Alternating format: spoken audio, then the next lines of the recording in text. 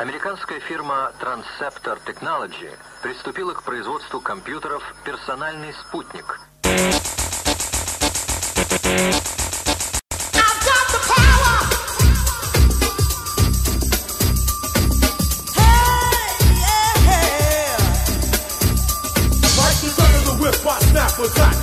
Back.